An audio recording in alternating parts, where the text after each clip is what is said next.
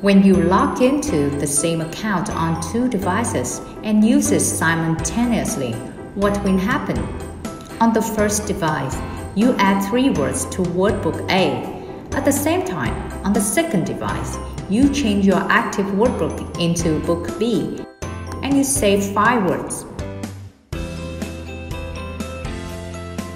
What happened?